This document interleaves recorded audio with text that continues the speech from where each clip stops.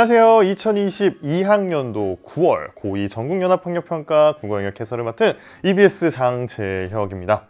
총평에서 여러분에게 이미 이야기를 했지만 우리 친구들 일단 시험 너무너무 고생해서 봤을 거라고 생각을 합니다. 그리고 혼자 채점을 하면서 원하는 결과를 얻은 친구들도 있겠지만 그렇지 못한 친구들이 조금 더 많지 않을까 라는 생각이 들면서 이렇게 좀 어깨를 토닥토닥 해줘야 되지 않나라는 생각도 함께 하게 돼요. 아마 우리 친구들 어, 내가 이렇게 열심히 공부했는데 왜 이렇게 원하는 결과가 나오지 않았지? 라는 생각이 들었을 때 여러분이 지금 몇 학년인지 그리고 지금 이 시점이 언젠지를 다시 한번 떠올려 보면 조금 위로가 되지 않을까라는 생각이 듭니다. 우리 아직 수험생 아니에요. 아직 고등학교 3학년 아니기 때문에 지금 틀린 문제들이 여러분의 성장을 위한 충분한 걸음이 될 거야. 여러분의 국어 실력을 한 단계 쭉 향상시키기 위한 밑거름이 될 것이기 때문에 지금 틀린 문제 저와 함께 그리고 명지 선생님과 함께 잘 정리하고 왜 틀렸는지 확인해 가면서 다시는 이런 실수를 안 한다라고 생각하면 됩니다. 그러니까 절대 슬퍼하거나 노여워하지 말고 저와 함께 일부에 등장하는 여러 가지 문제들 함께 살펴보면서 어떻게 해야지 국어 실력을 올릴 수 있는지 같이 고민해 보도록 합시다. 자 그럼 제일 먼저 우리 화법 파트부터 나가야 되겠죠? 화법 첫 번째 세트 1번부터 3번 세트를 저와 함께 먼저 살펴보도록 하겠습니다. 자 이제 우리 친구들이 이런 화법 지문을 만나게 된다면 이게 표현이 좀 그렇긴 하지만 약간 좀 기계적으로 접근해 주면 좋을 것 같다는 생각이 듭니다. 무슨 이야기냐? 화법 지문을 딱 만나게 되었을 때 도대체 이 글은 혹은 이 담화 상황은 어떤 상황인지를 먼저 파악하고 나서요. 그 다음에 아 이 글을 읽으면서 혹은 이 발표문을 읽으면서 내가 어디에 초점을 맞춰야 되느냐 무엇을 찾아야 되느냐가 머릿속에 바로바로 바로 떠올랐으면 좋겠다라는 생각이 들어요 제가 힌트를 줬지만 이 담화의 상황은요 여러분 지금 보는 것처럼 뭐라고 제시되어 있느냐 학생의 발표이다 라고 이야기를 한다고 그럼 여러분 머릿속엔 이미 쫙쫙쫙쫙 발표문에서 무엇이 중요한가가 떠올라야 됩니다. 제일 먼저 이 발표자는 도대체 어떤 주제의 발표문을 준비했는가 확인하는 게 첫 번째 중요한 포인트가 될 거야.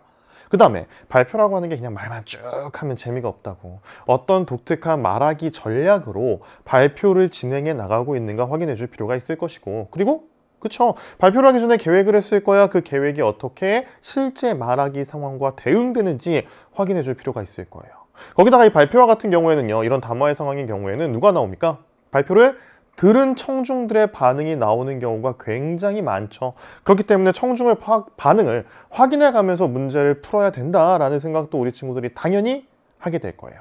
그게 요 네 가지, 요 네 가지 사항에 초점을 맞춘다라고 한다면 우리 친구들이 지문 빠르게 읽으면서 문제도 쉽게 해결할 수 있지 않을까라는 생각이 듭니다. 자, 요 네 가지 찾는다는 생각으로 한번 접근해 볼게요. 안녕하세요. 오늘 발표를 맡은 동그라미입니다. 라고 말하네요. 그러면서 말하기를 저는 얼마 전 신문 기사에서 우리나라 민속놀이가 세계인들에게 많은 관심을 받고 있다는 내용을 접했다라고 말합니다. 그러면서 말하기를 오늘의 발표 주제를 뭐라고 이야기하느냐? 우리 주제 중요하다라고 이야기했어요. 일곱 조각으로 만드는 즐거움. 칠교놀이로 정했습니다. 라고 이야기하네요. 자, 일단 우리는 이 학생의 발표 주제로 칠교놀이라고 하는 민속놀이를 소개하는 발표를 준비했구나 라는 걸 이미 확인했습니다. 우리 친구들 아마 어렸을 때 이 칠교놀이라는 걸 실제로 해본 친구들도 있을 거예요. 저희 집 꼬맹이들도 집에서 되게 열심히 하는 놀이 중에 하나인데 혹시 칠교놀이에 대해서 들어본 적 있으신가요? 라면서 중요한 포인트 나왔어요. 바로 뭐예요? 그냥 발표를 하는 것이 아니라 발표자가 청중에게 질문을 던지고 반응을 들어가면서 발표를 진행해 나가고 있음을 확인할 수가 있습니다. 근데 청중들이요. 예상대로 많지 않네요. 즉, 칠교놀이에 대해서 잘 모르는 청중들이 훨씬 더 많았나 봐요. 그래서 이와 같이 실제로 질문을 던지고 반응을 확인해 가면서 발표를 진행해 나가는 독특한 전략을 쓰고 있다는 걸 우리 친구들이 확인해 볼 수 있을 것 같습니다. 자, 그 다음에 이어서 바로 발표문의 두 번째 단락으로 한번 가보도록 할게요. 칠교 놀이는요, 칠교라고 불리는 일곱 개의 나무 조각으로 인물, 동물, 식물, 건축물 등의 모형을 그려놓은 칠교도에 맞게 다양한 형태를 만드는 놀이입니다. 라고 이야기합니다. 자, 뭘 확인할 수 있죠? 칠교놀이라고 하는 건 일단 물어봤는데 아는 사람 별로 없었잖아. 그러니까 뭐부터? 칠교놀이가 무엇인지 그 정의를 제시하고 있음을 확인할 수가 있습니다. 그리고 말로만 설명하면 당연히 사람들이 좀 확 와닿지 않잖아. 그러니까 발표자가 뭘 준비했냐면 일곱 조각의 칠교를 모한대요. 보여준다라고 이야기를 하죠. 뭘 준비했니? 그렇지. 이 칠교놀이가 무엇인지 그 일곱 조각 칠교에 실물을 준비했어 사람들에게 이게 7교야? 라고 보여주는 거야. 그럼 당연히 사람들은 아 저거 나 어렸을 때 본 것 같아 해본 것 같아 라는 생각을 하게 되겠죠? 훨씬 더 발표 내용에 집중하며 이해를 도울 수 있지 않을까라는 생각이 듭니다. 자, 제가 손에 들고 있는 것이 7교인데요. 7교는 10cm쯤 되는, 10cm쯤 되는 작은 정사각형 모양의 나무판을 크기가 각기 다른 직각삼각형 5개, 정사각형 1개, 평행사변형 1개 이렇게 총 7교니까 7조각으로 나눈 것입니다. 라고 말하면서 실제 실물을 보여주며 설명을 이어가고 있습니다. 그러면서 말하기를 7교 놀이에 방법을 그림으로 풀이한 책도 있대요. 칠교회라고 하는 책까지 만들어졌다는 점에서 우리 조상들이 오래전부터 이 칠교놀이라고 하는 것을 즐겨 했음을 확인할 수 있다. 라고 이야기해주고 있어요. 자, 발표의 내용 핵심. 칠교가 무엇인지 먼저 소개해주고 있습니다. 독특한 말하기 전략 쓴게 뭐가 있어요? 실물을 실제로 보여주면서 발표를 진행해 나가고 있다는 걸 확인할 수가 있겠죠. 자, 그 다음 한번 볼게요. 먼저 7교놀이 방법에 대한 동영상을 시청한 후 발표를 이어가겠습니다. 라고 말합니다. 일단 발표 내용 뭐에 대한 이야기를 할 거야? 7교놀이의 방법에 대해서 이야기를 할 거야. 그냥 설명하는 게 아니라 무엇을 보여줄 거야? 동영상을 보여줄 거야. 독특한 말하기 전략 확인할 수가 있습니다. 동영상은 실제로 청중들과 시청을 했네요. 방금 보신 동영상에서 7교놀이의 중요한 규칙 한 가지를 확인할 수 있는데요. 혹시 발견하신 분 있을까요? 라면서 다시 질문 던지고 대답 듣는 걸 알 수 있어. 네, 많은 분이 다양한 대답을 해주셨는데요. 말씀해주신 여러 규칙 가운데 가장 중요한 규칙은 바로 무엇이냐? 일곱 조각을 모두 사용해야 한다라는 것. 이것이 바로 실교놀이의 방법과 관련해서 굉장히 중요한 규칙이라고 설명하고 있습니다. 그리고 독특한 말하기 전략까지 우리 친구들 확인할 수 있을 거라고 보고요. 자 그러면서 발표가 계속 이어져. 칠구놀이는 혼자 할 수도 있고 여럿이 할 수도 있는데요. 라고 말하면서 무엇을 보느냐. 제가 지금까지 수많은 지문들을 보면서 가장 특이했던 것 같아요. 자 이게 실제로 우리가 푸는 문제에서 지문으로 구현될 수 있구나라는 생각을 하게 되었거든요. 시계를 봐요 발표자가 발표자가 후기를 보면서 뭐라고 이야기하느냐? 발표 시간을 고려하여 오늘은 여럿이 칠교놀이를 하는 방법만 소개하려고 합니다. 라고 이야기하죠. 이 발표와 관련된 외적 조건들이 있잖아. 정해진 발표 시간이 있을 수 있다고요. 그 시간을 확인해 가면서 무엇을 조정하는 거니? 발표 내용을 조정하는 거야 한정된 발표 시간 내에 내용을 전달해야 되니까 사실 실제로 발표자가 준비를 하기에는 혼자서 칠교놀이를 하는 방법과 여럿이 할 수 있는 방법을 모두 준비해 왔겠죠 근데 그 중에서 소개는 뭘 하는 거야? 시간 고려해서 여럿이 하는 방법을 소개하고 있음을 확인할 수가 있습니다 보통 여러 명이 칠교놀이를 할 때에는 편을 나눠서 상대편이 칠교도에서 지정한 모형을 협동에 만들어요 칠교도는 문제도와 해답도로 구분되어 있는데 어? 독특한 말하기 전략 한 가지 더 확인할 수가 있겠죠 구체적인 사례 제시. 상대편에서 토끼 만들기를 제시하게 됩니다. 그럼 문제도에서 토끼 모형을 찾아서 만들고 이때 만들 때 모든 조각을 쓰는 거야. 만든 모형이 해답도와 같은지를 확인하게 됩니다.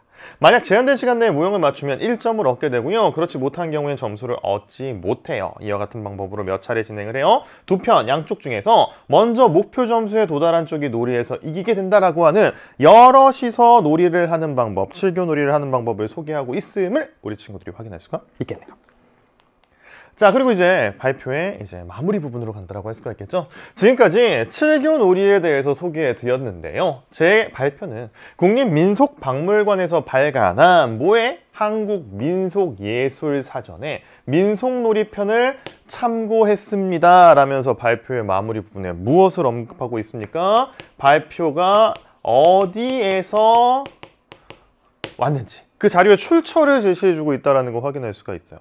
여기서 우리 친구들이 자료 출처가 나왔다는 것으로 그치지 말고요. 자료의 일과 이와 같이 자료의 출처를 제시하는 경우에 발표문에 뭐가 올라간다라고 할 수 있죠? 그렇지. 이 발표가 믿을 만한 발표가 되는 거지. 이 발표의 신뢰성이 높아진다.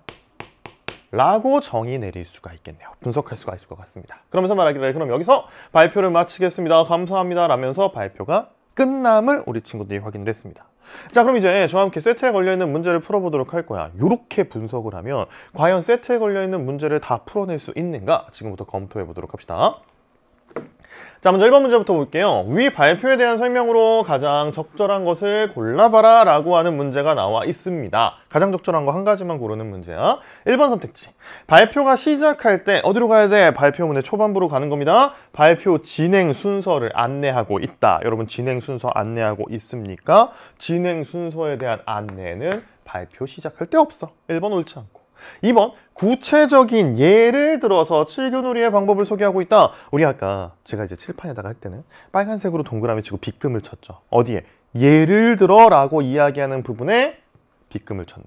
예를 통해서 칠교놀이의 방법, 여럿이서 하는 방법을 소개하고 있죠. 2번이 답이네. 3번. 칠교놀이에 대한 관심을 촉구하면서 발표를 마무리하고 있다. 발표의 마무리 부분에 뭐가 나와요? 자료에 출처가 나왔다고. 자, 4번. 전문가의 견해를 인용해 칠교놀이의 가치를 설명하고 있다. 전문가의 견해 인용된 부분 없죠. 자, 먼저 5번. 칠교놀이의 특징을 부각하기 위해서 다른 대상과 비교하고 있다. 칠교놀이의 방법, 그 특징을 설명하는 글이긴 한데, 발표긴 한데, 다른 대상과 비교하고 있지는 않죠. 그래서 여러분 적절한 걸 고르라고 이야기하면 너무 쉽게 2번 선지 골라낼 수 있을 거고, 우리가 표시한 본문의 내용만, 지문의 내용만으로도 충분히 해결할 수 있는 문제다라는 생각이 듭니다. 바로 2번으로 갈게요. 다음은 발표자가 위 발표를 준비하면서 작성한 메모이다. 기업부터 미음을 바탕으로 하여서 발표에서 사용한 발표 전략으로 적절하지 않은 것은 이라고 이야기하네요. 결국 이 작성한 메모가 뭐가 될까? 계획이 되겠죠. 계획과 실제 말하기 활동을 대응시키는 문제라고 할 수 있어요. 매우 전형적인 유형. 따라서 우리 친구들이 절대로 틀리면 안 되는 유형입니다. 기억부터 한번 볼게요. 자, 기억에서 뭐라고 이야기하냐면 수업 시간에 이루어진 정보 전달의 목적을 가지고 있는 발표다라고 이야기하고 니은 같은 경우는 발표 장소는 동영상 시청이 가능한 교실이라고 이야기합니다. 청중은 칠교놀이에 대해서 잘 알지 못할 것이라는 건 일단 계획 상황에서 가정을 했어요. 제한된 시간 안에 발표를 해야 된다라고 하는 상황이 있습니다. 그리고 실행 계획, 청중과 상호작용을 하면서 발표를 진행해야 되겠다라고 마음을 먹은 상태야. 자, 이와 관련해 가지고 실제 말하기 활동과 어떻게 대응되는지 한번 확인해 보도록 할게요. 먼저 선택지 1번. 기억부터 갑니다. 청중이 발표 내용에 대해서 신뢰할 수 있도록 발표를 위해 참고한 문헌을 밝힌다. 여러분 어디에서 발표의 가장 마지막 부분에서 나 한국 민속 예술 사전에 민속놀이 편을 참고했어라고 이야기를 하죠. 1번 맞는 이야기네. 자 2번 봅시다. 니은 청중이 칠교놀이 방법에 대해 쉽게 이해할 수 있도록 동영상을 제시하며 설명한다. 우리 아까 상황 분석했을 때 동영상 시청이 가능한 교실이라고 이야기했죠. 따라서 그 방법을 동영상으로 보여주는 것 실제 말하기 활동에서 나타났네요. 자 3번 디귿 칠교놀이에 대한 청중의 이해를 돕기 위해서 칠교의 실물을 보여준다라고 이야기합니다. 그쵸? 아까 일곱 조각의 칠교를 보여주면서 실물 제시했어요. 3번 맞는 이야기. 자, 4번 리을 봅시다. 정해진 시간에 맞춰 발표할 내용의 분량을 조절한다. 우리 아까 굉장히 특이한 부분이라고 이야기했죠. 시계를 보면서 아, 시간을 조절하기 위해서 여럿이 칠교놀이라는 방법에 대해서만 소개하겠다라고 이야기를 한다고. 4번도 맞네. 맞아, 5번. 미음, 청중의 요청에 따라서 칠교놀이에 대한 정보를 추가로 소개한다. 자, 청중과 상호작용을 하긴 해요. 근데 그 상호작용의 방법이 실제로 발표 상황에 어떻게 구현이 되었죠? 질문을 던지고 답변을 듣는 거였어요. 청중이 요청을 해가지고 발표 내용, 즉 칠교놀이에 대한 정보를 추가적으로 제공하는 것도 상호작용의 방법이 될 수 있긴 하지만 실제로 우리가 봤던 지문, 이 발표 상황에서는 나타나지 않죠. 따라서 5번이 옳지 않다. 판단 가능할 겁니다. 그래서 이번의 답은 5번. 자, 3번으로 가봅시다. 발문 보면서 어떤 문제 유형인지 볼게요. 보기는 위 발표를 들은 학생들의 반응이다. 보기에 드러난 학생들의 듣기 방식에 대한 설명으로 가장 적절한 것을 고르라고 이야기합니다. 우리 앞서서 아까 세트를 쭉 보면서 담화 상황에 대한 이야기를 했어요. 발표라고 한다면 청중의 반응에 대해서 묻는 문제가 나올 수 있다라는 이야기했지. 바로 3번 문제가 그와 같은 유형의 문제가 될 거야. 학생 1부터 어떤 반응을 보였는지 볼게요. 칠교놀이 외에 선조들이 즐겨 행했던 민속놀이에는 또 무엇이 있는지 발표자가 언급한 책을 찾아봐야겠어 라고 이야기합니다. 발표 내용을 듣고 이제 막 궁금증이 생긴 거야. 그래서 궁금증이 생겨서 추가 자료를 혹은 추가 내용을 찾아봐야 되겠다라고 하는 매우 주도적인 학습 태도를 보여주는 학생 1이 되겠죠. 그다음 학생 2 볼게요. 칠교놀이 방법을 보니까 상대편을 이기기 위해서는 해당 모형의 문제도를 빨리 찾는 것이 우선인 것 같아 라고 이야기합니다. 분명히 본문에서 이 칠교놀이 방법 여럿이 할 수 있는 방법에 대한 설명이 나와 있긴 한데 빨리 이기기 위해서 무엇에 초점을 맞춰야 되는지에 대한 언급은 없죠. 따라서 본문에 없는 내용을 뭐 하고 있니? 추론하고 있다고. 본문 내용을 바탕으로 그 이면에 숨어있는 정보까지 찾아내면서 듣기 활동을 한 학생 2라고 평가할 수 있겠네. 그 다음 학생 3 보자. 7교의 크기가 작았다고 하는 걸 보니 소지하기가 편해. 어디에서든 7교 놀이를 할 수 있었겠네 라고 이야기합니다. 7교는요 10cm쯤 된다라고 이야기를 하죠. cm쯤 되기 때문에 어디서든 가지고 다닐 수 있었겠다라고 이야기를 합니다. 그럼 뭐예요? 그치 본문에 나와 있지는 않지만 본문 내용을 바탕으로 해서 역시 뭐 했다? 추론하면서 발표를 들었다라는 걸 확인할 수가 있습니다. 그럼 이제 1번부터 한번 볼게요. 학생 1은요, 학생 2와 달리 새롭게 알게 된 정보를 통해서 자신이 평소 생각하던 바를 수정하며 들었다라고 이야기하네. 학생 1이요, 내가 알고 있던 건 아, 잘못됐네. 이걸 수정해야 되겠어. 라고 발표를 들으면서 느꼈답니까? 아니죠. 궁금증이 생겨서 더 찾아봐야 되겠어 하는 게 학생 1의 태도잖아. 1번 옳지 않아. 2번 학생이는요 학생 1과 달리 발표에서 언급된 내용을 평가하며 들었다 발표 내용에는 없는 숨어있는 정보까지 찾아가면서 들은 사람이 학생 2가 되겠죠 학생 아 3번. 학생 3은요 학생 2와 달리 발표를 들으며 갖게 된 의문에 대한 해결 방안을 생각하며 들었다. 아니지 발표 내용에 대한 의문이 아니라 역시 숨어있는 정보를 찾고자 한 것이 바로 학생 3이 될 거야. 3번 선지도 옳지 않네 자, 4번과 5번. 학생 1과 학생 3은요, 모두 발표 이후 자신이 해야 할 일을 떠올리며 들었다라고 이야기하네요. 학생 1 같은 경우는 뭐 그렇다고도 볼 수가 있겠죠. 발표 이후에, 어, 나 더 찾아봐야 되겠어. 라는 생각을 하겠지만, 학생 3 같은 경우는, 아, 나 무슨 일 해야지라고 떠올리면서 들었다라고 볼 수 없습니다. 자, 맞아 5번. 학생 2와 학생 3은 모두 발표자가 직접적으로 언급하지 않은 내용을 어떻게 하면서 추론하면서 들었다. 답은 5번 선지가 되겠네요. 자 이렇게 하면 여러분 뭐가 가능해요? 1번, 2번, 3번 문제 후딱 풀어내는 것이 가능하다는 생각이 듭니다. 왜 우리가 이쯤 되면 이제 9월이잖아. 고등학교 2학년 9월이니까 어, 전체 세트를 조망하면서 전략을 세우고 독해를 하는 것도 좋아요. 어떤 문제가 나와 있는지 확인해 가면서 독해를 하는 것도 좋긴 한데 이쯤 됐으면 이제 우리 뭐 하자? 아까도 얘기했죠. 기계적으로. 발표? 발표라면 이런 내용을 물어볼 거야! 라는 생각으로 접근하는 것이 훨씬 더 시간 단축에 도움이 된다는 생각이 듭니다. 아셨죠? 자 이제 두 번째 세트로 가보도록 합시다. 4번에서 7번 문제 세트. 우리가 흔히 화작이 융합된 세트라고 이야기를 하죠. 어, 화법과 장문 모두가 다 한 대 세트에 묶여 있다는 거 우리 친구들이 어디에서 확인할 수가 있냐면 가와 나에 대한 설명에서 확인할 수가 있을 것 같아요. 가는 뭐라고 이야기하느냐? 반대 신문식 토론의 일부다라고 이야기를 합니다. 그럼 여러분 머릿속에 역시 기계적으로 토론이라고 한다면 뭘 물어보느냐? 토론은 일단 토론의 논제가 무엇인지 먼저 머릿속에 떠올라야 돼. 찬성과 반대를 주장하는 사람들이 있을 거야. 그들 각각 어떤 주장을 어떤 근거를 바탕으로 펼쳐내고 있는가. 그리고 이걸 평가할 수 있어야 될 것 같아요 그래서 토론이라고 하게 되면 우리 친구들이 무엇에 초점을 맞춰서 독해야 되는지 머릿속에 떠오를 거라고 봅니다. 낙을 볼게요. 토론에 청중으로 참여한 학생이 토론 내용을 바탕으로 학교 신문에 실은 글이다 라고 이야기합니다. 그러면서 물음에 답하라 라고 이야기하죠. 그럼 우리 친구들 여기서 초점을 맞춰야 될 거. 여기 나와 있는 토론이 일종의 뭐가 되는 거야? 글쓰기 작업의 자료가 되는 거야. 혹은 계획이 될 수도 있겠죠. 따라서 글을 쓰는 과정에서 토론의 내용이 어떤 영향을 미쳤는가 조금 더 상세하게 생각해 본다면 토론이 찬반이 있으니까 이 찬반의 의견 중에서 글쓰기 같은 경우에는 어디에 조금 더 집중하고 있는가라는 생각으로 독해를 해줄 수가 있을 것 같아요. 자 그럼 실제로 토론 상황을 한번 보도록 하겠습니다. 지금부터 공직선거에 뭐를 온라인 투표를 도입해야 한다라는 논제로 토론을 시작하겠습니다. 토론에 논제 확인했네.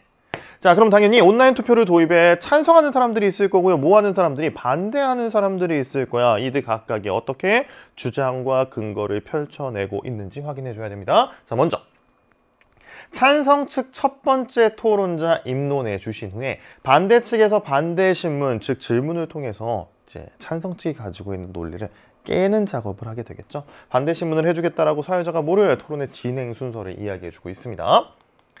자 그럼 찬성 측에서는 왜 온라인 투표를 도입해야 된다라고 하는가 그 근거를 찾는다는 생각으로 한번 읽어볼게요 세트의 구성을 보니까 A라고 묶여있네 이걸 가지고 묻는 문제가 분명 나오게 될 거야. 가봅시다.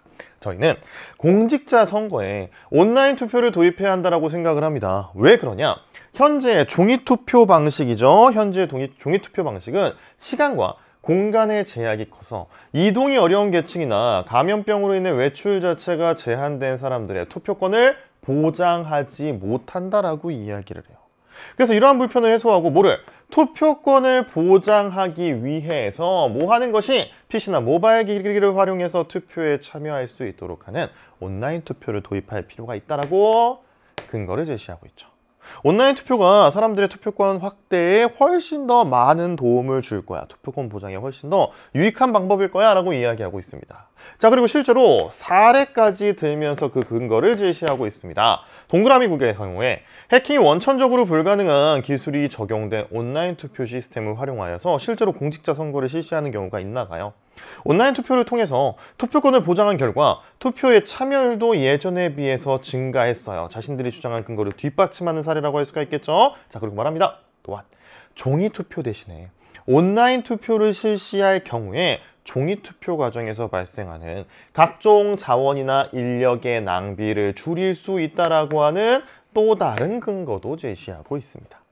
자 지금 A 부분에서 찬성 측 입론을 합니다. 왜 온라인 투표를 해야 되느냐? 투표권 더 확대해서 보장할 수 있어. 거기다가 인력 혹은 자원의 낭비를 막을 수 있어 라고 이야기하며 구체적인 사례까지 제시하고 있다는 거 확인할 수가 있어요. 이게 포인트야. 자 그럼 이제 반대 측에서는 어떤 질문으로 반대 신문을 하는지 보도록 합시다. 자 반대 측에서 이야기합니다. 반대 2가 이런 말을 하네요. 저희가 미리 조사한 자료에 따르면 앞서 찬성 측의 입론에서 제시한 사례가 있었죠. 동그라미국.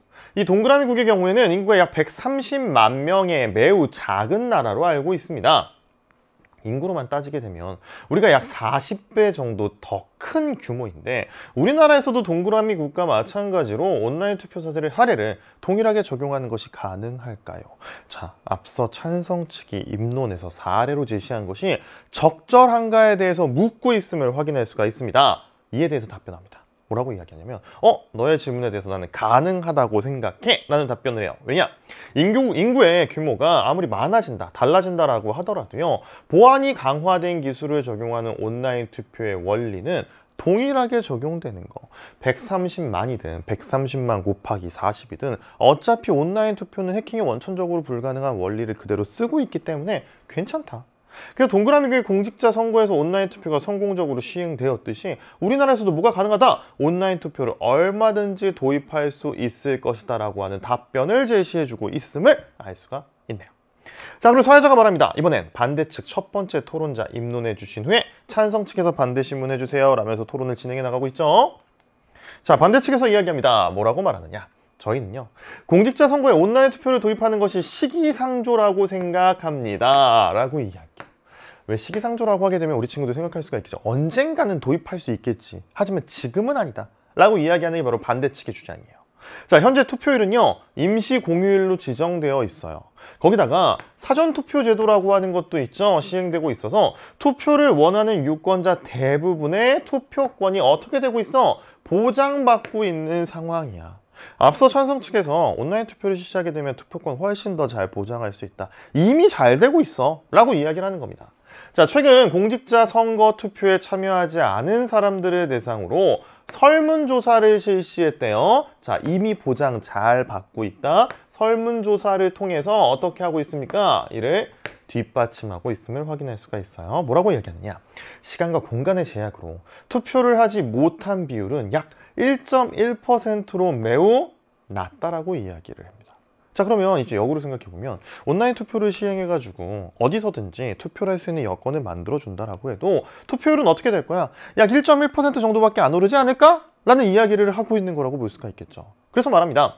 온라인 투표가 종이 투표에 비해서 투표권 보장에 더 유리한 측면이 있지만 자 여기서 매우 중요해. 여기다 별표 막 치세요. 자 여기다 왜 별표를 막 쳐야 되느냐 여러분 앞으로 화법과 장문 뭐 어떤 글을 보든지 간에 지금 보는 것처럼 상대방이 가지고 있는 주장의 일부를 인정하는 거지.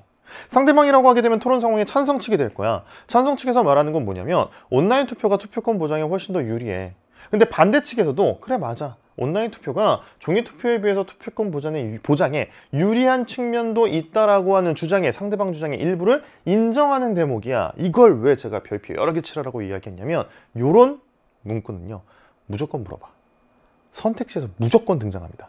그럼 이제 제가 이제 문제를 먼저 풀어보고 지금 해설을 하고 있기 때문에 에 선생님 문제 봤잖아요. 아니야. 그래서 나만 믿고 따라와. 여기다 막 표시해 놓으세요. 막 표시해 놓고 무조건 물어본다고 생각하시면 돼요. 따라서 앞으로 어떤 질문을 이제 여러분이 독해에 나가든지 간에 이런 식의 서술이 있으면 반드시 체크해 놓는 거 중요합니다.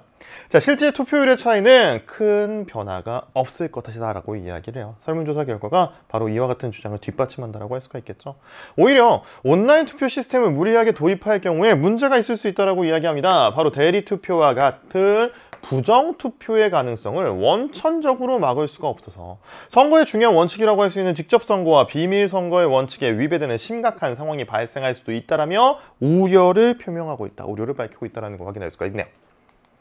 자 그리고 말합니다. 또한 투표일에 투표소 접근이 어려운 사람을 위해서 뭐 하냐면 온라인 투표를 위한 시스템을 별도로 구축할 경우에 뭐가 오히려 선거 관리 비용이 추가로 지출될 수 있어서 경제적이지도 않다. 우리 아까 앞서서 찬성 측에서 인력이나 비용의 낭비를 막을 수 있다고 했는데 경제적이지 않을 수도 있다라고 이야기를 하고 있으면 확인할 수가 있네요.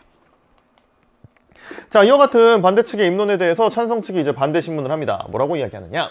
종이 투표의 경우도 타인의 압박이나 회유, 인지 능력이 부족한 사람 등에 대해서 강제 등으로 인해 선거의 원칙에 위배되는 상황이 언제든지 발생할 수 있지 않나요? 아까 부정투표의 우려를 제시하고 있는데 이건 사실 종이투표의 경우도 마찬가지인데 왜 그걸 가지고서 이야기를 하느냐라고 말하고 있어요. 그러니까 반대해서 대답을 합니다.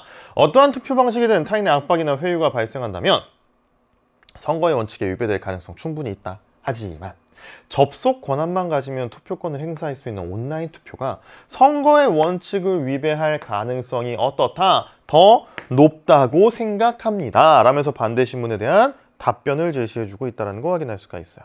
자, 지금 저와 함께 주요 내용들을 쭉 살펴봤습니다. 이게 바로 가에 나와 있는 토론 상황, 찬성과 반대 의견이고 서로의 주장을 이제 논리적으로 이제 깨부수기 위해 깨기 위해서 질문까지 반대 신문까지 던리는 어, 던지는 작업을 여러분이 확인을 했어요.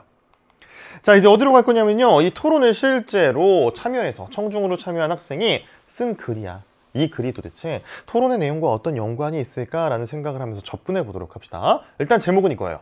공직자 선거에 온라인 투표를 도입해야 할까라고 하는 제목으로. 자, 그러면 이 글의 내용이 도입해야 한다는 것으로 갈까 도입하면 안 된다라고 하는 것으로 갈까 토론 내용과 엮어서 살펴보도록 하겠습니다. 최근 보안기술의 발달로 투표권 보장을 위한 온라인 투표 도입에 대한 논의가 활발하게 이루어지고 있는데 온라인 투표를 도입한 경우에 거동이 어려운 노약자, 상인, 투표 당일에 투표가 어려운 직업군의 사람들 뿐만 아니라 일반인들도 시간과 장소에 구애받지 않고 투표에 참여할 수 있어서 모를 투표권을 최대한 보장할 수 있다. 우리 토론에 찬성 측이 주장한 내용이라고 할 수가 있겠죠. 자, 그러면서 그래서도 사례가 등장한다는 거알 수가 있습니다. 어떤 사례냐? 실제로 총학생회장 선거에 온라인 투표를 도입한 동그라미 대학교가 있대요. 동그라미 대학교의 경우에 투표율이 46%에서 80%로 상승을 했고 인근 세모대학교의 경우도 54%에서 81%로 투표율이 크게 상승했습니다. 또한 공직자 선거에서 종이 투표 방식을 온라인 투표로 대체할 경우에 1인당 선거 관리 비용이 약 5천원에서 400원으로 줄어들어 공직자 선거에 투입되는 예산을 절감할 수 있다라고 이야기해 주고 있어요. 지금 이야기한 사례들 혹은 자료들은요 모두 토론에 나오지 않은 거지. 토론에 나오지 않았던 새로운 자료들을 바탕으로 해서 뭐를 투표권을 최대한 보장할 수 있다. 온라인 투표 도입이 필요하다라고 하는 이야기를 펼치고 있다는 거 확인할 수가 있습니다. 자, 그 다음 이어가 보도록 합시다. 하지만 이라고 하면서 내용 전환 그러면 토론에서 반대 측이 주장한 내용에 대한 언급도 등장하겠구나 미리 짐작해 볼 수 있을 것 같아요. 온라인 투표가 온라인 투표에 보안이 강화된 기술이, 기술을 적용하더라도 대리 투표를 원천적으로 막을 수 없다라고 하는 반대 의견도 제시되고 있다. 우리 앞서 토론 상황의 반대측 주장이었죠.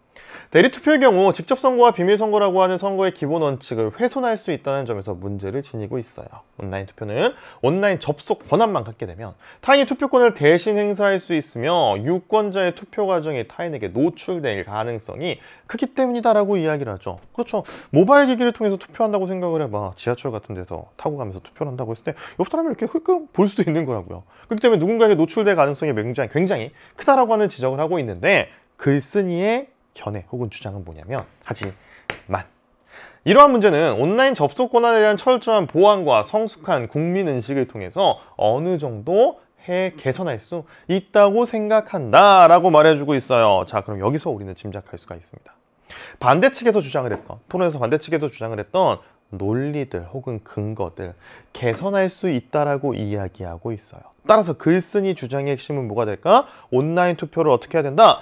도입해야 된다라고 이야기를 하는 사람이 바로 글쓴이가 될 거야. 자, 그럼 이제 우리 글의 마지막 부분으로 가보도록 합시다. 따라서 현재 종이 투표 방식을 지속하되 온라인 투표를 공직자 선거에 부분적으로 도입하는 것이 바람직하다라고 이야기하네요. 우리 제대로 된 글쓴이의 주장을 확인할 수가 있습니다. 무조건 온라인 투표로 가자는 게 아닌가 봐. 종이 투표, 방, 종이 투표 방식을 지속하면서 부분적으로 온라인 투표를 해보자. 공직자 선거에 두 방식을 병행해서 운영한다면 기본 원칙이 훼손될, 훼손될 가능성을 최소화할 수 있고 또 투표권도 최대한 보장할 수가 있어. 물론 두 가지 방식을 운영하게 된다면 선거의 관리 비용이 상승한다라고 하는 문제점이 있겠지만 대의민주주의 체제의 대표성을 인정받는 과정에 의미를 둔다라고 한다면 충분히 예산을 투입할 가치가 있을 것이다 라고 생각하는 것 글쓴이의 주장이 되겠네요. 생각해보면 그렇죠. 음, 실제로 종이 투표가 이루어지는 투표장에서 어떤 사람이 왔을 때 이 사람이 사전에 온라인 투표를 했는가 검토하는 작업을 추가적으로 해야 될 거야. 그렇기 때문에 추가로 예산도 들고 비용도 상승하게 될 수밖에 없을 겁니다. 왜냐하면 인력이 필요하고 시스템을 구축해야 될 필요가 있으니까. 그럼에도 불구하고 글쓴이가 말하는 건 뭐냐면요. 이거 의미 있잖아.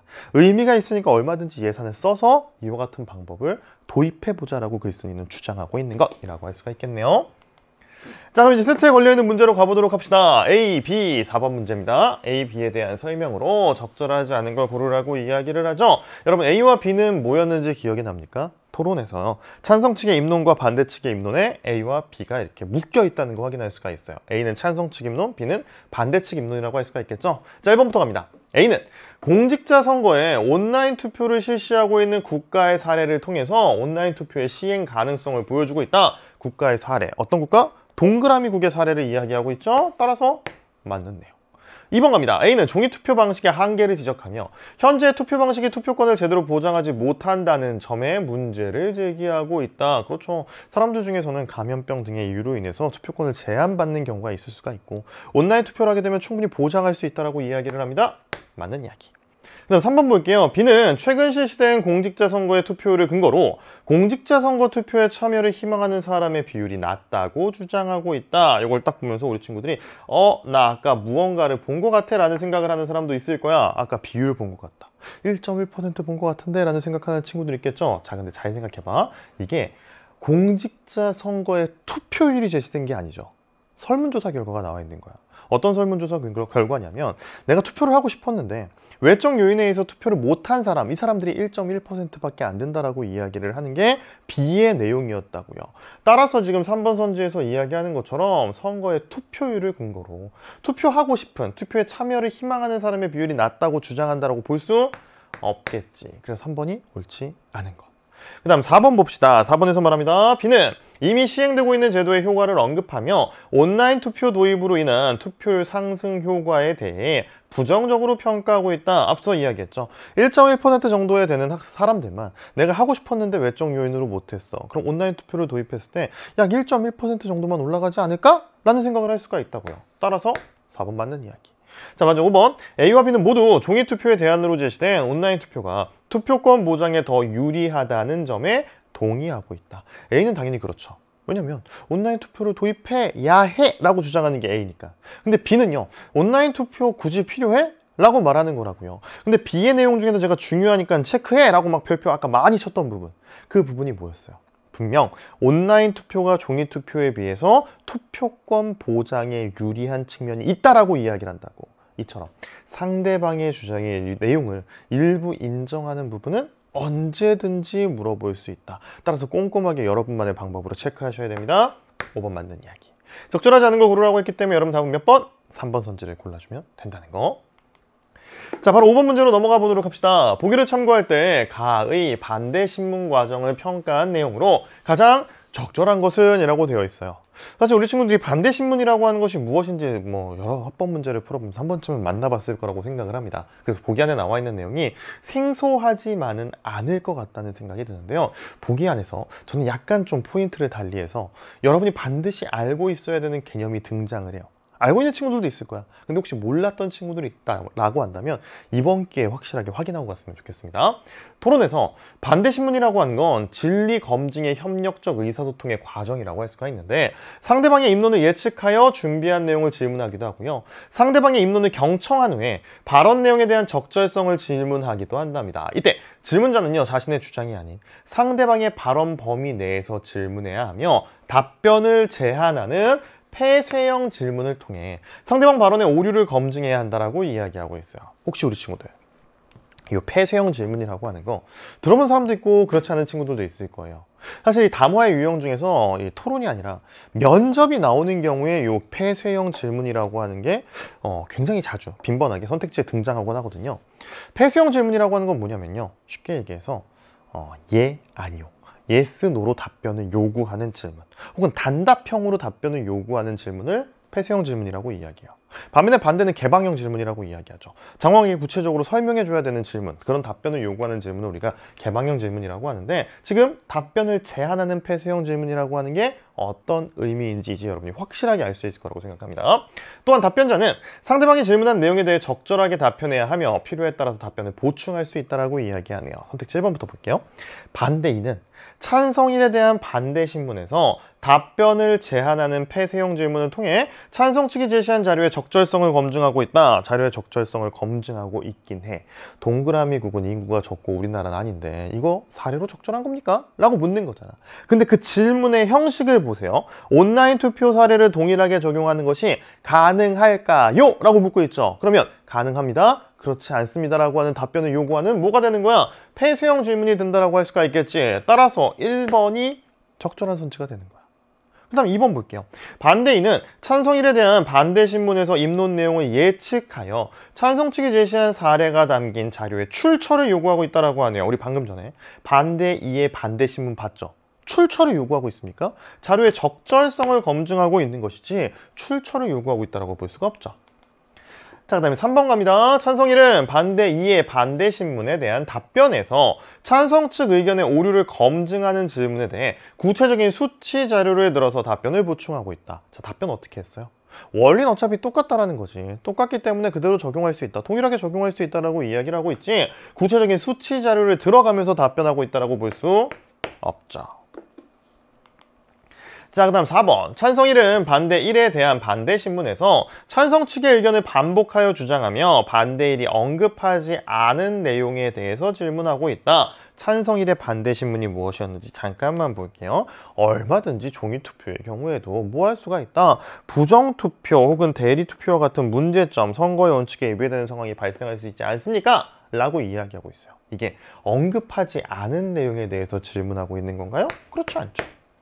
자 먼저 5번 반대일은 찬성 1의 반대 신문에 대한 답변에서 찬성 1의 질문과 무관한 답변을 하여서 찬성 1 측과의 협력적 의사소통에 실패하고 있다. 여러분 답변할 때요. 무관하게 답변하고 있, 있습니까? 그렇지 않죠. 질문에 대한 답변을 하고 있죠. 가능성 측면에서 봤을 때 온라인 투표가 이와 같은 부정선거, 선거의 원칙을 위배할 가능성이 더 높다라고 이야기하고 있죠. 따라서 관련 있는 답변 그렇기 때문에 5번 옳지 않다라고 판단하면 되겠지. 답은 몇 번? 제일 먼저 봤던 1번 선지가 답이 된다고 할 수 있습니다. 자, 6번으로 가볼게요. 이번엔 나, 그 학생의 글이 되겠죠. 나의 장문 맥락을 파악한 내용으로 가장 적절한 걸 고르라고 이야기합니다. 머릿속에 전체 글의 내용이 쭉 떠올라야 될 거야. 어떤 글이었어요? 온라인 투표라고 하는 것을 종이 투표와 병행해서 함께 실시할 필요가 있다라고 하는 주장을 담고 있는 것이다라고 할 수가 있겠죠. 1번부터 볼게. 온라인 투표 도입으로 인한 긍정적 효과를 근거로 제시하여 주장을 설득력 있게 전달하는 것을 장문 목적으로 설정했다. 그렇죠. 상대방에게 온라인 투표를 병행해서 도입해 보자 라고 설득하는 것을 목적으로 하는 글이 되는 거야. 1번 맞는 이야기. 자, 2번 공직자 선거 투표에 참여를 원하지 않는 사람을 위한 대안이 필요하다는 관점에서 주제를 선정하고 있다라고 이야기하네요. 자, 지금 온라인 투표를 도입해야 된다라고 이야기하는 것이지 대안 필요해 아닙니다. 자, 3번 온라인 투표 도입에 대한 의견을 다양하게 수용하기 위해 실시간 의사소통이 가능한 매체를 선택했다. 어? 매체가 뭐였죠? 우리 아까 제일 먼저 확인했던 걸 보게 되면 나는 학교 신문에 실은 글이다 라고 이야기하죠. 우리 친구들 이 강의를 함께 듣고 있긴 하지만 여러분 학교에 학교 신문이 있을 거예요. 실시간 의사소통이 가능한 매체입니까? 보통은 종이로 나오게 되잖아. 종이로 나오게 되기 때문에 이게 실시간 의사소통이 가능한 매체라고 볼 수가 없죠.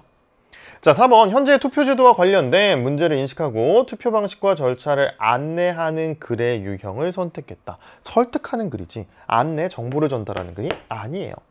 자, 먼저 5번 온라인 투표의 도입을 결정할 수 있는 실질적 권한을 가진 기관을 특정하여서 예상 독자로 설정했다. 요거죠. 학교 신문이기 때문에 예상 독자는 누구야? 친구들이라고. 친구들이 실질적 권한을 가지고 있는 기관이 아니죠. 따라서 여러분 적절한 것은 1번 선지. 자, 7번으로 가봅시다. 가, 가의 토론 내용이 나의 반영된 양상으로 적절하지 않은 것은 이라고 이야기하네요. 우리 아까 토론을 들은 청중 중에 한 명이 글을 작성한 거였잖아요. 1번 갑시다. 토론에서 언급된 두 입장 중 온라인 도, 투표 도입에 찬성하는 입장의 발언 내용을 그래 첫 문단에 반영하고 있다. 우리 첫 문단에서 확인을 했죠. 투, 온라인 투표를 도입하는 경우에 뭐가 가능해? 투표권을 보장할 수 있어! 라고 이야기를 한다고요. 1번 맞는 이야기. 자, 이번 토론에서 언급되지 않은 두 대학교의 투표율 변화 사례를 추가하여서 온라인 투표 도입으로 인한 효과를 강조하고 있다. 두 대학교 어떤 대학교? 동그라미 대학, 세모 대학. 자, 3번 토론에서 언급된 두 입장을 모두 고려하여 온라인 투표를 부분적으로 도입해야 되는 이유에 대해 언급하며 주장에 대한 설득력을 높이고 있다. 자, 그래? 핵심은 글쓴이의 주장은 뭐였습니까? 전면 도입 아니었어요. 부분적으로 도입해서 종이 투표와 온라인 투표를 같이 해보자라고 이야기하는 거죠. 자, 그리고 왜 그런지에 대한 이유를 어디에서 마지막 단락에서 제시하고 있습니다. 자, 4번 토론에서 언급된 두 입장 중 온라인 투표 도입에 반대하는 입장의 발언 내용을 반영하여서 온라인 투표 도입에 따라 발생할 수 있는 문제를 인정하고 있다. 그래 두 번째 단락에서 대리 투표 등의 문제가 발생할 수 있다는 이야기를 하고 있습니다. 자, 먼저 5번 토론에서 선거 관리 비용과 관련해 언급되지 않은 자료를 추가하여서 온라인 투표를 부분적으로 도입할 경우 얻을 수 있는 경제적 이익을 구체화하고 있다라고 이야기하네요.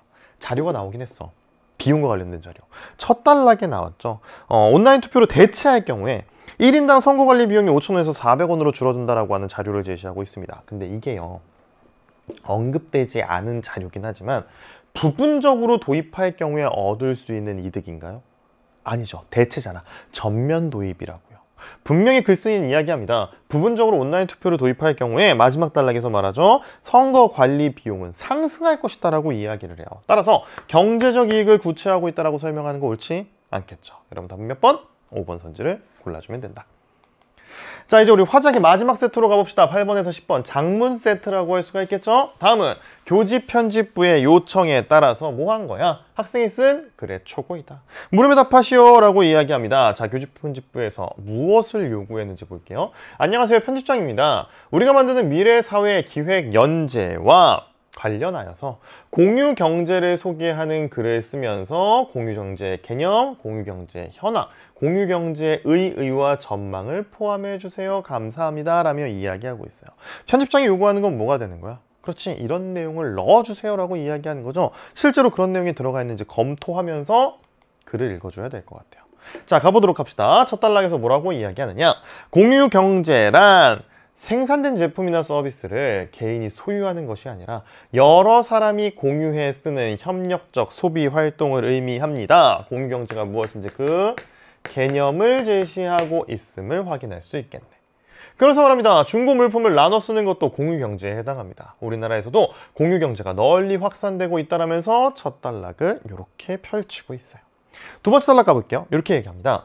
공유경제에서 자원을 공유하는 주체가 있대. 그 주체는 누구냐면 개인, 기업, 지방자치단체 등 매우 다양할 수가 있고 공유경제를 통해서 공유되고 있는 유형의 자원들도요 자동차, 빈방, 옷, 전자기기 등과 같은 유형 자원뿐만 아니라 재능 및 지적재산과 같은 무형 자원까지도 공유경제 분야로 확대되고 있어서 그 규모가 매년 성장하고 있는 추세다라고 하는 뭐를 현황을 제시하고 있음을 알 수가 있겠죠. 편집자의 요구를, 편집장의 요구를 잘 따라가고 있습니다. 자, 그러나 공유경제는 급속히 성장하는 과정에서요 지나치게 상업화되고 있다는 비판을 받기도 하고요 공유경제 활동에서 발생하는 이용자 간의 법적 분쟁을 해소할 수 있는 법률도 미비한 상황이다 라고 이야기해주고 있어요 현재 상황이 갖고 있는 문제점에 대한 언급도 이에 제시하고 있습니다 자 그리고 글의 마지막 단락입니다. 공경제를 통해 소유자는 이용하지 않는 자원을 활용해서 수익을 얻을 수 있고 구매자는 저렴한 가격의 상품을 이용할 수 있어요. 또한 공유경제는 자원을 절약하고 자원 생산 과정에서 발생하는 환경 문제를 줄여가지고 사회 전체 발전에 이바지할 수 있다고 이야기합니다. 이게 공유경제가 가지고 있는 의의에 해당하겠고 따라서 법적 제도를 보완하고요. 뭐 하는 거야? 이용자 간에 어, 신뢰를 형성하기 위해서 사회적인 노력을 합니다. 사회적인 노력을 기울인다면 친환경적이고 협력적인 공유경제를 통해서 보다 밝은 미래 사회를 만들 수 있을 것이다 라고 하는 뭘 제시하고 있어요. 전망까지 제시하면서 글을 마무리하고 있죠. 우리 앞서 봤던 편집장이 요구하는 바 기억, 니은, 디귿에 해당하는 내용이 일단 담겨 있다는 걸 확인할 수가 있습니다. 자 그럼 이제 이거 가지고 역시 문제를 풀어보도록 할 거야. 아마 우리 친구들이 이 화작 부분에서 조금 시간을 소비했다라고 한다면 이 문제가 그다지 어렵진 않은데 어? 뭔가 답이 확 눈에 안 들어와 라는 생각을 하지 않았을까 싶어요. 초고에서 기억부터 디귿을 작성할 때 활용한 글쓰기 방법으로 가장 적절한 걸 고르라고 이야기합니다. 자 기억은 뭐였냐면요. 개념. 니은은 현황 디귿은 의의와 전망을 제시해달라고 이야기했죠. 1번부터 볼게요. 공유 경제의 어원을 밝히면서 그 개념을 제시했다. 분명히 아까 우리가 개념을 제시하고 있는 부분은 찾았어. 그러니까 1번이 맞는 것 같거든. 근데 틀렸어. 왜 틀렸을까? 어원을 밝히면서 개념을 제시하고 있진 않죠. 그래서 1번이 옳지 않다고. 그 다음 2번 니은 현황에 대한 이야기야. 공유 경제에서 공유되고 있는 자원의 종류를 제시했다. 그렇죠. 유형의 자원이 있고 무형의 자원이 있다라고 이야기했잖아. 그러니까 이건 맞아. 그럼 3번 공유경제 이용 현황을 자원을 공유하는 주체별로 제시했다. 어 아까 나 주체 받는데 라는 생각을 하는 친구도 있을 거예요. 실제로 두 번째 단락에 나오잖아. 주체는 개인, 기업, 지자체 등 매우 다양하다라고 이야기하죠. 주체 나왔네! 라고서 3번도 맞네! 라고 생각하면 안 됩니다. 왜 그럴까? 주체별로 공유경제 이용 현황을 제시하고 있다라고 하잖아. 그게 아니죠. 공유 경제의 주체가 되는 것이 무엇인지를 제시하고 있지 주체별로 현황을 제시하고 있지는 않죠. 그래서 3번이 옳지 않을 거. 그 다음 4번. 디귿. 공유 경제 분야별로 긍정적인 전망을 제시하고 있다. 긍정적 전망은 나와요. 마지막 단락에. 근데 뭐는 분야별로 제시하고 있지는 않죠. 그래서 4번도 옳지 않고. 맞아 5번 공유경제 효용을 보여주는 연구 자료를 제시하고 있다 우리 연구 자료는 그래서 못 봤다고 따라서 여러분 적절한 걸 고르라고 하면 몇 번을? 2번 선지를 골라줘야 되는 거야. 선택지에서 판단해야 될 것이 꼭 하나만 있는 건 아니다라는 생각을 하면서 여러분 접근하셔야 돼요. 개념만 제시했는지를 판단하는 것이 아니라 어원도 있는지를 봐야 되는 거야. 자 이제 9번 문제 가봅시다. 다음은 초고를 쓴 학생이 교집 편집부에 보낸 이메일의 일부이다. A에 들어갈 내용으로 가장 적절한 것을 고르라고 이야기를 합니다. 초고에 대한 검토 의견 중 A 요청에 따라 첫 문단을 아래와 같이 수정했습니다. 라고 이야기하네요. 자 초고를 수정해달라는 요구가 들어왔나 봐. 그 요구가 바로 A의 내용이라고 할 수가 있겠고 요구에 맞춰서 첫 단락을 이렇게 바꾼 겁니다. 그럼 우리 친구들이 해야 될 일. 지금 이 네모 안에 들어가 있는 첫 단락과 수정 후가 되겠죠. 수정 전이라고 할 수 있는 초고의 첫 단락을 비교하면서 뭐가 달라졌는지를 확인해 주셔야 될 것 같아요. 자, 일단 첫 문장부터 볼게. 공유경제란 이것을 의미한다 라고 하는 공유경제의 개념은 그대로 살아있네. 그 두 번째 문장을 봐봐. 우리나라에서도 이용자 간의 신뢰를 기반으로 한 이라고 이야기하죠. 앞서 봤던 초고엔 뭐가 있었어요? 두 번째 문장 개념 이후에 중고 물품을 나눠 쓰는 것도 공유 경제에 해당한다라고 하는 사례가 나와 있잖아. 그 사례는 어떻게 됐습니까? 수정 후에 지워졌다고. 따라서 1, 2, 3번 중에 답이 있겠죠. 사례를 삭제한다라는 요청에 따라서 실제 삭제가 이루어졌으니까.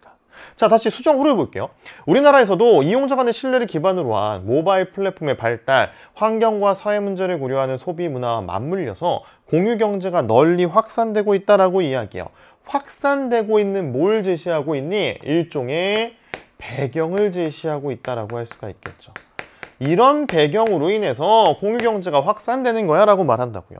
수정 전에는 어땠어요? 그냥 우리나라에서도 공유경제가 널리 확산되고 있다라고 설명하는 것으로 끝났다고요. 자, 뭘 추가해 준 거야? 확산 배경을 추가해 준 거야. 따라서 답은 1, 2, 3번 중에 뭐가 됩니까? 요게 답이 되겠죠. 적절한 것은 3번 선지 골라주면 된다는 거. 무엇이 수정 전이고 무엇이 수정 후인지만 명확하게 확인해주고 그 차이점만 제대로 짚어준다면 답은 어렵지 않게 찾아낼 수 있습니다. 자 마지막으로 이제 10번 문제 볼게요. 화작의 마지막 10번 문제. 이 10번 문제가 아마 우리 친구들 입장에서는 그나마 이 화작 세트에서 좀 시간이 많이 걸리는 유형이지 않나라는 생각이 들어요. 우리 장문 파트에서 지금 보는 것처럼 다채로운 추가 자료가 보기에 나와 있고 이 추가 자료를 어떻게 활용할 수 있는가를 묻는 문제가 얼마든지 나올 수가 있다고. 지금 보는 것처럼 그래프가 있다? 그래프가 있으면 여러분 포인트, 그래프의 제목을 잘 봐야 돼. 그래프의 제목, 우리 가의 1 그래프 같은 경우는 국내 공유 경제 규모라고 해서 해마다 계속 증가하고 있음을 확인할 수가 있어요. 그 다음에 가의 두 번째 그래프 같은 경우는 소비 유형별 에너지 소비량과 탄소 배출량이라고 이야기를 하죠. 중고를 공유하는 경우에 새 상품을 소비하는 것보다 에너지 소비량, 탄소 배출량이 현저하게 낮다라는 걸 확인할 수가 있습니다. 그래프의 제목을 봐야 그래프의 의미가 명확하게 이해가 된다라는 거 여러분 반드시 확인해 주시고요. 그 다음에 나의 신문 자료가 나와 있어요. 신문 기사가 나와 있는데 여러분 여러분 꼼꼼하게 좀 살펴볼 필요가 있다. 네모시에서는 지난 2015년부터 지역 예산을 활용한 공공자전거 무인 대여소를 운영하고 있습니다. 모바일 플랫폼을 통해서 회원가입을 하게 되면 네모시 시민들은 누구나 버스 정류장 및 지하철역 그리고 관공서 주변의 자전거 무인 대여소에서 자전거를 공유할 수 있다라고 이야기해요. 이 정책은 환경 개선과 시민의 건강한 삶의 질 향상이라는 공익을 실현한다는 점에서 시민들로부터 높은 평가를 받고 있다라고 하는 네모시의 정책에 대한 이야기가 등장하고 있어요. 자, 그 다음에 이제 경제학과 교수의 인터뷰 자료가 나와 있습니다. 어떤 내용을 담고 있느냐. 공유경제라고 하는 것은 이렇게 지속 가능한 발전을 지향하고 있는데 지속 가능성과 친환경성을 표방한 공유 경제 플랫폼이 점점 상업화되면서 오히려 과소비를 조장하거나 대형 플랫폼을 선점한 공유경제 기업이 시장을 독점하는 부작용이 나타나고 있다는 일종의 문제점 제시하고 있어. 그리고 말하기를 이용자 간의 거래 약속을 지키지 않아서 계약이 성사되지 않거나 공유 플랫폼을 이용하다 사고가 났을 경우에 보험을 비롯한 법적 책임에 대한 규정이 명확하지 않다는 등 이를 보완하기 위한 법안과 제도가 마땅치 않다는 문제점도 함께 가지고 있음을 언급하고 있는 인터뷰 자료가 되는 거야. 우리 가에 나와 있는 내용 그래프 두 개 어떤 의미를 가지고 있는지 신문기사 자료 그 다음에 인터뷰 자료까지 의미를 확인을 했습니다. 이걸 이제 활용할 수 있는 방안을 한번 봅시다.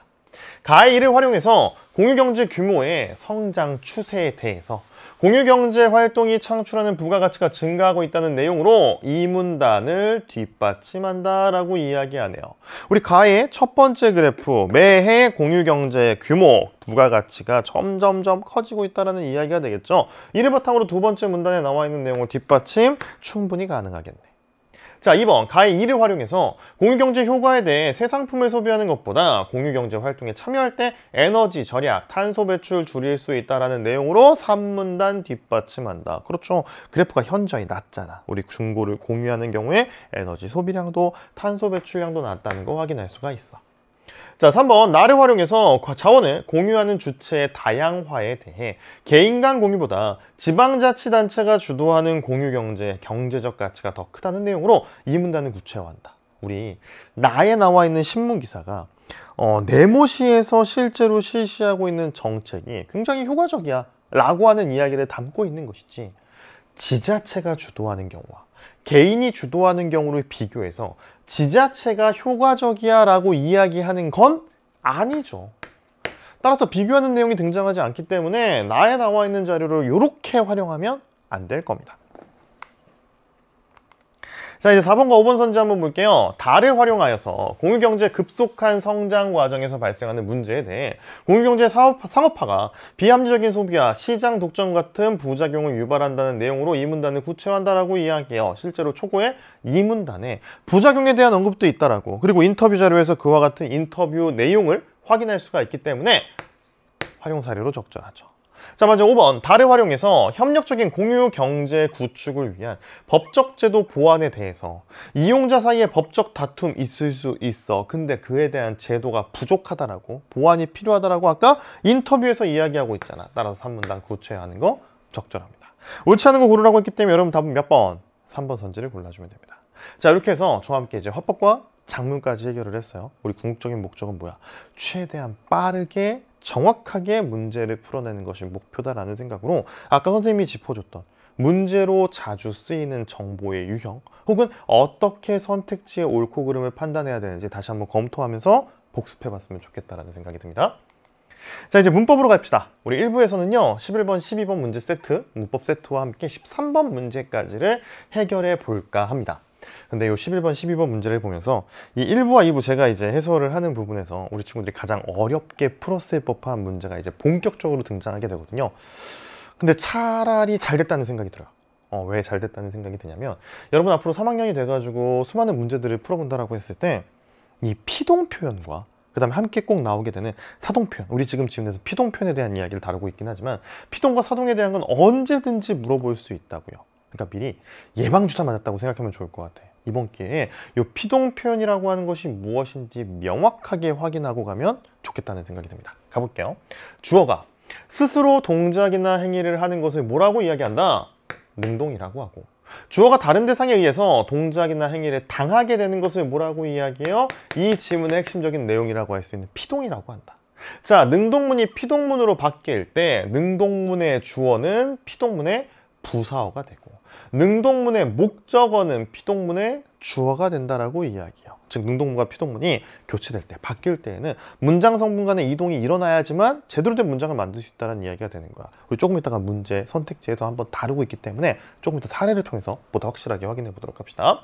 자, 피동은요. 크게 피동사 피동과 아지, 아 혹은 어지다, 아지다, 어지다와 같이 피동으로 나뉘게 된다라고 이야기합니다. 자, 피동사 피동은요. 파생어인 피동사에 의한다고 해서 뭐라고 부르냐면 파생적 피동이라고 부르게 돼요. 자, 피동사의 피동, 파생적 피동이라고 부른다는 거 우리 친구들이 확인해 주면 되겠고요. 피동사는 능동사 어간을 어근으로 하여서 피동접미사 이, 히, 리, 기가 붙어서 만들어집니다. 어간 뒤에 피동의 저 어근 뒤에 피동의 접미사 이, 히, 리, 기가 붙어서 만들어지는 것이 바로 파생적 피동이라고 할 수가 있는데 이때 특이한 것이 있어요. 뭐가 있냐면 건반을 누르다가 눌리다로 바뀌는 것처럼 동사의 불규칙 활용 형태로 나타나는 경우도 있다라고 이야기해 주고 있어요. 우리 친구는 여기서 초점을 맞춰야 되는 건 뭐냐면요. 어? 불규칙 활용으로 나타나는구나 이게 아니야. 활용 형태로 나타난다라고 서술했다는 점에 포인트를 맞춰주세요. 왜냐?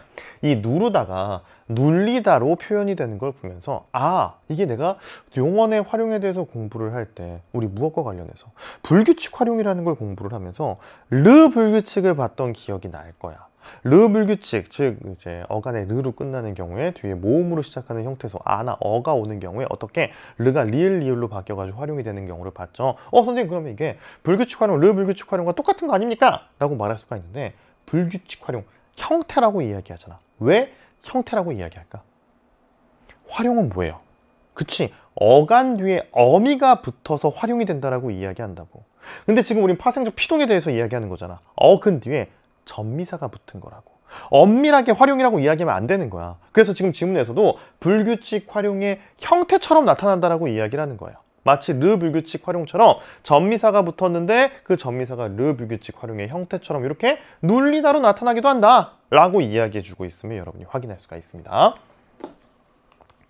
자 그리고 이어가 볼게요. 그러나 모든 능동사가 피동사로 파생될 수 있는 것은 아니다라고 이야기해 주고 있어요. 즉 파생적 피동이라고 하는 것이 늘 나타나는 것은 아니야 늘 가능한 건 아니야 라고 이야기해 주고 있습니다. 던지다 지키다와 같이 어간이 이 모음으로 끝나는 동사의 경우에는 피동전미사가 결합하기 어렵다. 거기다가 만나다나 싸우다와 같이 대칭되는 대상이 필요해. 나는 누구와 만나다. 나는 누구와 싸우다. 나와 그 누가 대응되는 대상이라고 할 수가 있겠죠. 이와 같이 대칭되는 대상이 있다고 했을 때도 역시 피동전미사를 붙이기 어렵고 알다나 배우다와 같이 주체의 지각과 관련된 동사 등은 피동사로 파생되지 않는다라고 이야기해 주고 있습니다.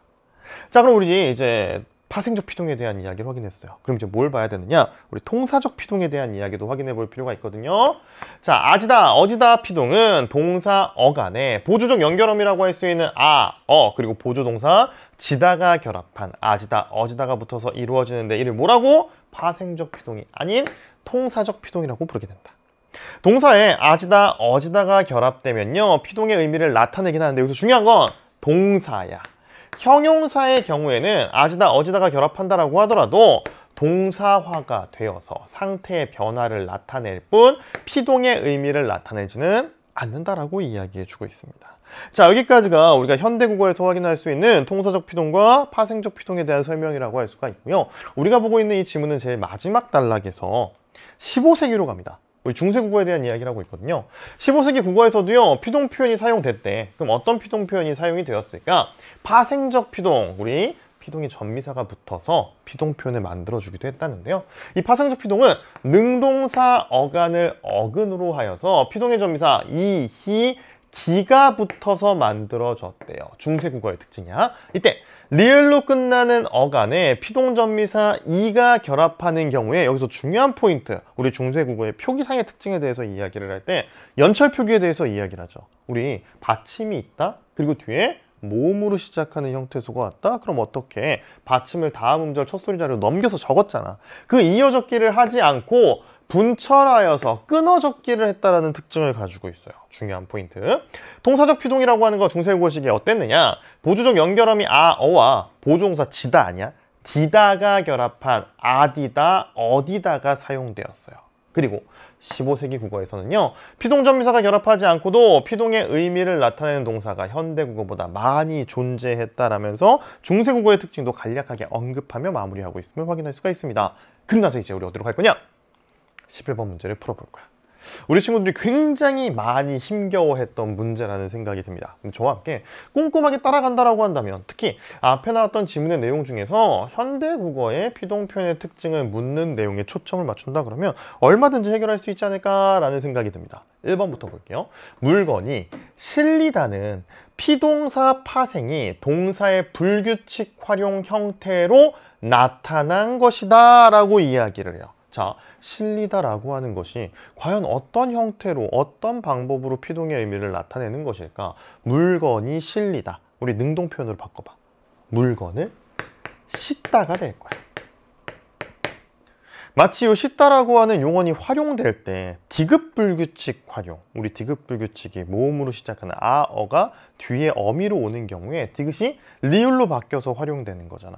그것처럼 실 리 다라는 형태로 활용이 되었다고요. 따라서 우리는 확인할 수 있는 게 뭐가 되는 거야? 마치 디귿 불규칙 활용의 형태처럼 파생, 접미사가 붙어가지고 저렇게 피동사가 되기도 하는구나라는 걸 확인할 수가 있겠죠. 그래서 1번이 맞는 설명이 된다고 그 다음 2번 볼게요. 소리가 작아지다는 용언의 어간에 아지다가 결합하여서 피동의 의미를 나타낸다라고 이야기하네. 어우 통사적 피동의 사례가 되겠네 라고 생각하면 안 돼. 왜 안 될까요? 우리가 용언이라고 하는 걸 품사로 보게 됐을 때 그게 두 가지가 있죠. 동사가 있고 형용사가 있다라고 할 수가 있어요. 동사적 피동에 대해서 이야기할 때 동사에 아지다 어지다가 붙는 경우에 피동의 의미를 나타내지만 형용사의 경우에는 아지다 어지다가 붙어도 피동의 의미를 나타내지 않는다. 동사화가 돼서 상태의 변화를 나타낼 뿐이다. 라고 이야기하죠. 자 지금 소리가 작아지다. 작다라는 형용사의 아지다가 결합한 사례. 따라서 형용사의 아지다가 결합했다면 피동의 의미를 나타내니 안 나타낸다고. 따라서 2번이 적절하지 않다 자, 3번 줄이 꼬이다는 동사 어강 꼬에 피동의 전미사 이가 결합하여서 피동사로 파생되었다. 그렇죠. 꼬다라고 하는 어간 꼬, 이 어, 어간이 어근이 돼서 피동전미사 이가 결합해가지고 바로 피동사로 파생되었다는 걸 확인할 수 있는 대표적인 더 파생적 피동이라고 여러분이 확인할 수가 있을 것 같다는 생각이 듭니다. 4번 볼게요. 경찰이 도둑을 잡다가 피동문으로 바뀔 때 능동문의 목적어가 피동문의 주어로 바뀐다라고 이야기해요. 자 여기 능동문. 목적어는 뭡니까? 도둑.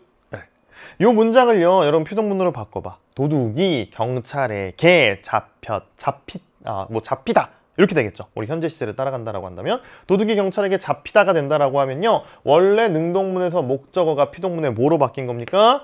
주어로 바뀌었다 자, 맞아. 5번.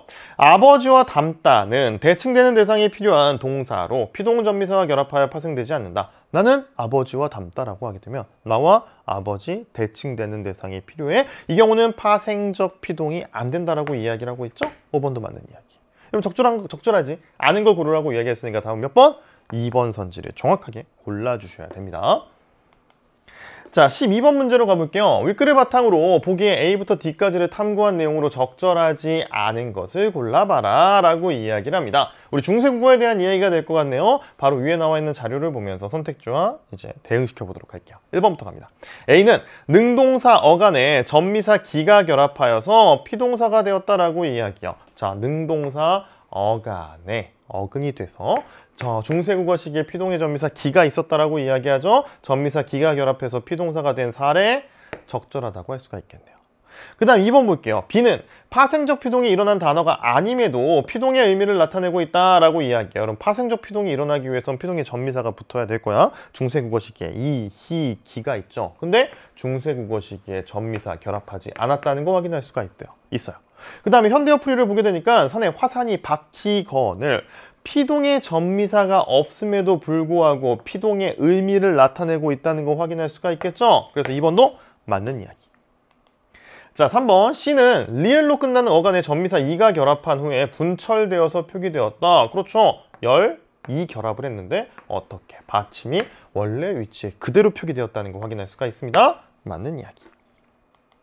자, 4번 볼게요. D는 동사, 어간, 바사에 아디가 붙어서 피동의 의미를 나타내고 있군이라고 이야기해요. 자, 동사, 어간, 바사에 어근이 되어서 아디가 결합을 해서 우리 중세국어 시기의 통사적 피동은 아디, 어디가 결합한다라고 이야기했죠. 그래서 피동의 의미, 티끌이 되어서 부수어지거늘 이라고 하는 의미를 나타내고 있습니다. 오, 4번도 적절. 자 마지막 5번을 보면서 이것도 적절하네 라고 판단한 친구들도 분명 있을 것 같아요. 왜냐? B와 D는 모두 피동 전미사를 사용하지 않았으므로 통사적 피동에 해당하는군 이라고 이야기해 아까 B 우리 피동 전미사 사용하지 않았다라고 이야기했고 D 같은 경우에도 아디가 붙어서 피동의 의미를 나타내고 있잖아. 어 그래서 앞에 내용 맞네 라고 생각을 하면서 5번도 맞아. 답 없네? 라고 생각한 친구들도 있을 것 같아요. 근데 D 같은 경우는 통사적 피동이라고 이야기할 수 있죠 근데 B 같은 경우는 피동의 전미사도 없고 아디나 어디도 없는 상태로 그냥 피동의 의미를 나타내는 경우. 따라서 B를 통사적 피동이라고 이야기할 순 없겠네. 그래서 5번이 옳지 않은 게 되는 거야. 답은 5번 선지 자 1부의 마지막 문제를 풀어보도록 합시다 우리 친구들 아마 13번 문제 굉장히 많이 풀어봤을 법한 문제입니다 우리 음운 변동과 관련된 문제라는 거 확인할 수가 있고요. 음, 발문을 보니까 보기의 기억 니은에 해당하는 사례를 바르게 짝지은 것은 보기를 볼게요. 국어의 음절 종성에서는 자음을 두 개 발음할 수 없어. 따라서 겹받침으로 끝나는 형태소와 다른 형태소가 결합하면 자음군 단수나와 더불어서 다른 음운 변동이 함께 적용되는 경우가 많다면서 구체적인 예를 들어주고 있습니다. 당만 같은 경우에는 어떤 음 변동이 일어나게 되느냐 당만 같은 경우는 자음군 단순화가 일어난 다음에 비음화가 함께 일어나는 사례라고 이야기할 수가 있고 막지 같은 경우는 자음군 단순화가 일어나서 겹받침 중에 리을 탈락하고요 그리고 된소리 대기가 일어나서 최종 발음 막지가 된다는 거 알 수가 있겠죠 문제에서 요구하고 있는 것은 기억에서는 자음군 단순화와 비음화, 니은에서는 자음군 단순화와 된소리 대기가 일어난 사례를 찾으라고 이야기하고 있습니다. 그럼 뭐 하면 돼? 분석하면 돼. 자 지금부터 우리 선택지 하나하나 보면서 분석을 해보도록 할게요. 먼저 기억부터 가보도록 합시다. 기억에서 간만이라고 하는 발음을 하기 위해선 어떤 음운 변동이 일어나게 되느냐? 첫 번째 음절 비읍 시오 겹받침 어떻게 자음군 단수나 일어나게 되고 그리고 나서 두 번째 음절 첫 소리 미음의 영향으로 비음화가 일어나. 그래서 간만이라고 된다는 거 확인할 수 있네. 기억의 사례로 적죠 자, 니은 볼게요. 흑과라고 되어 있어요. 첫 번째 음절 리을 기억, 겹받침 중에서 리을, 탈락, 자음군 단수나 일어나고 남아있는 기억에 의해서 두 번째 음절 첫 소리, 된 소리 대기 일어난다는 거 확인할 수 있습니다. 따라서 니은 사례도 적죠. 일단 답은 몇 번? 답은 1번. 그럼 2번도 한번 쫙 분석해 볼게요. 일른이라고 되어 있죠. 일른에서 확인할 수 있는 건 뭡니까? 리을, 히읗, 겹받침. 두 번째 음절 첫 소리 자음, 겹받침이기 때문에 어떻게 되는 거야? 히읗이 탈락해서 자음군, 단수나 확인할 수 있고 그 다음에 남아있는 리을에 의해서 두 번째 음절 첫 소리가 리을로 바뀌는 거죠. 그래서 뭐야? 비음화가 아니라 유말을 확인할 수가 있다고요. 자, 그 다음 읍고도 볼게요. 우리 친구들 읍고 잘 봐야 됩니다. 리을 피읍이야. 리을 탈락해. 자음군 단수나 일어나. 자단이라고만 쓸게요. 자, 그 다음에 남아있는 피읍은요. 음절 끝에 있잖아. 대표음 비읍으로 바뀝니다. 음, 음절에 끝소리 규칙, 음끝이라고만 쓸게요. 그리고 비읍에 의해서 두 번째 음절 첫 소리가 뭐가 됩니까? 된 소리 되기가 된다라고 할 수가 있겠죠. 이렇게 2번 선지에 나와 있는 사례들 분석할 수가 있겠고요. 3번 갈게요. 덥지. 덥지에서 확인할 수 있는 거 첫 번째 음절 피읍 발음할 수 없으니까 대표음 비읍으로 교체 음절 끝소리 규칙 확인할 수가 있고 바뀐 비읍에 의해서 두 번째 음절 첫 소리가 어떻게 되는 거야? 된 소리로 교체 된 소리 되기 확인할 수가 있습니다. 밝혀볼게요. 우리 친구도 밝혀. 혼동하면 안 됩니다. 아 이것도 자음군 단순한 있겠지? 라고 생각하면 안 돼. 왜? 기역과 히읗이 어떻게 되는 거야? 축약돼서 거센 소리로 바뀌어서 밝혀. 거센 소리 되기가 나타남을 확인할 수가 있네요. 그 다음 4번 갑니다. 밤는 이라고 되어 있죠. 밤는에서 확인할 수 있는 음운 변동엔 뭐가 있을까? 겹받침, 리을, 비읍 중에서 발음할 수 없으니까 자음군 단수나 일어나고 그리고 두 번째 음절 첫 소리에 의해서 비음화 일어나네. 어 이거는 아까 이야기했던 기억의 사례로 일단 적절하다고 할 수가 있을 것 같아요. 그럼 니은 한번 볼까? 니은에서 닭 다라고 되어 있죠. 우리 친구는 여기서 혼동하면 안 돼. 첫 번째 음절 받침이 쌍기역이야. 아 쌍기역 중에서 기억 하나가 탈락했네 라고 해서 자음군 단순화라고 표기를 하거나 분석을 하면 틀리는 거야 쌍기역 같은 경우는 하나의 의문이라고 할 수가 있죠 쌍기역이 기억으로 발음되는 건 교체 즉 음끝에 해당합니다 그 다음에 바뀐 기억에 의해서 두 번째 음절 첫 소리가 된 소리로 발음돼 된 소리 되기 자 맞아 5번 자, 마지막 5번 갑니다. 절머라고 되어 있죠? 우리 절머에서 확인할 수 있는 음운 변동 우리 친구도 잘 봐야 돼. 왜냐면 절머에서는 음운 변동이 안 일어나거든. 뭐가 일어나느냐? 연음. 겹받침 니음, 미음 중에서 뭐가 미음이 다음 음절 첫 소리로 넘어가서 발음이 된다고요. 연음은 음운 변동 아니라는 거 우리 친구들 알고 있을 거라고 생각을 하고요. 그 다음에 짤지가 중요해. 이게 왜 중요하냐? 우리 된소리 대기라고 하는 것이 어떤 환경에서 일어나는지를 다시 한번 머릿속에 떠올리게 되면요. 받침 기억, 디귿, 비읍 뒤에 예사 소리가 된 소리. 어감 받침 니음, 미음이거든. 따라서 지금 상황에서 된 소리 대기가 일어나기 위해서는 뭐가 리을 비읍 중에서 이 비읍이 된 소리 대기의 원인이 되어 줘야 돼. 따라서 된 소리 대기 일어나서 두 번째 음절 첫 소리가 찌 그러니까 쌍지읒으로 발음이 되게 되고요. 그리고 나서 겹받침 리을 비읍 중에서 뭐가 비읍이 탈락하게 되는 자음군 단순화가 일어난다라고 분석해 주셔야 되겠죠. 자 이렇게 하면요. 여러분이 문제에서 요구하는 기억과 니은에 해당하는 사례 적절한 것은 몇 번 선지가 된다? 1번 선지가 된다라는 걸 명확하게 확인할 수 있을 거라고 생각합니다. 답만 찾지 말고 나머지도 어떻게 음변동이 일어나는지 반드시 검토해 주는 것이 중요하다는 생각이 들고요. 자 저와 함께 1부에서 13번 문제까지 확인을 했습니다. 우리 14번 문제부터 24번 문제까지는 2부에서 만나도록 할게요. 조금 이따 만나도록 합시다. 안녕